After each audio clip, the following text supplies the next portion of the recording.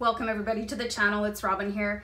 I'm just getting ready to do your daily divine message reading and I'm using the magical unicorn oracle card deck and the card I pulled for you is it says finish what you started. So this says you started something important and now it's time to complete it.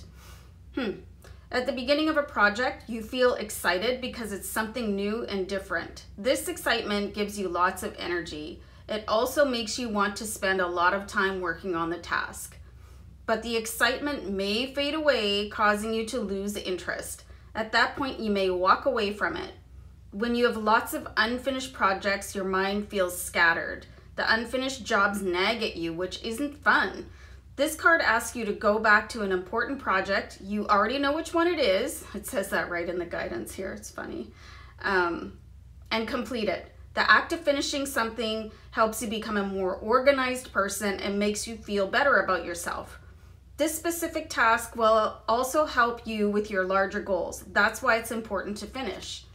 I think this is a pretty cool card. Um, I think there's actually more guidance here. Hold on.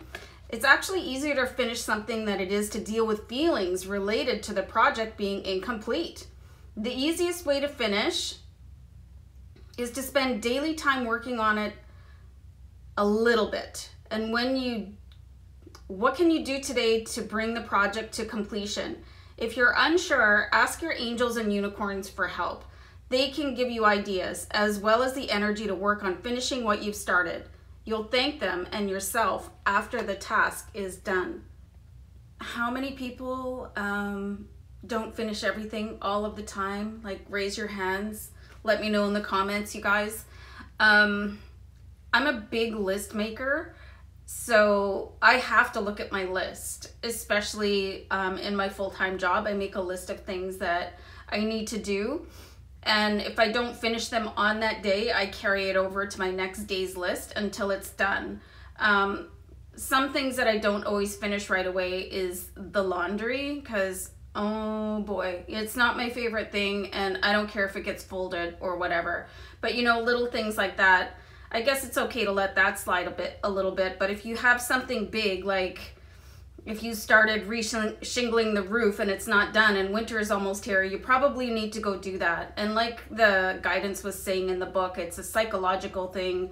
Um, like you know how your your mind can sometimes attack you. Uh, you don't want your your negative self-talk to start calling you all kinds of names because you're not finishing something. So it's a really interesting card. And if this is you, if you were guided here to finish something, you might want to start um, just finishing it up. And if you can't face it, like the like the book said, just do a little bit every day and you'll really feel better. You'll really feel proud of yourself afterwards. So guys, I hope this was an interesting card. I hope this motivated some of you to finish projects that you started. Um, let me know in the comments and remember to like, share, and subscribe, guys. I'll see you back another time. Bye.